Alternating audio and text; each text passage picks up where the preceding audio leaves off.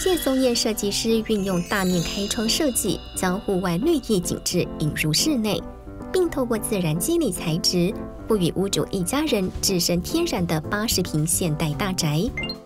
开放式公领域规划镂空方格柜体，不仅创造视觉穿透感及空间区隔，更丰富屋主收纳与展示需求。